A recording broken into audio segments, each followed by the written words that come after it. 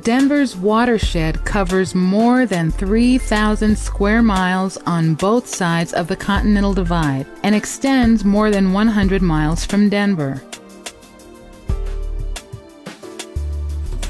Denver Water's collection system is divided into two main areas the Moffat Collection System and the South Platte System. The Moffat Collection System is located high in the Rockies. Snow from the mountains melts into rivers and streams, which feed into canals and then into huge tunnels that carry the water through the Continental Divide to the Front Range.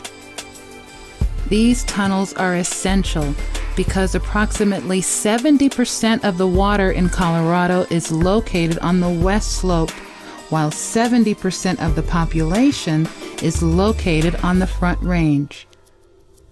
The water is stored in Gross and Ralston reservoirs north of Denver and goes from there to the Moffat treatment plant.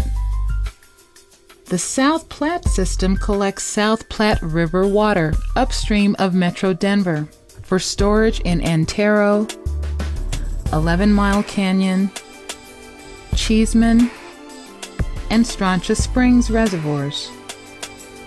Dillon Reservoir is also part of the South Platte system.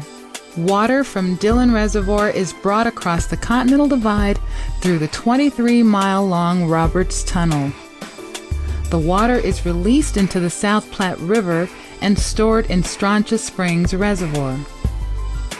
Water from the South Platte system is treated at the Marston and Foothills treatment plants.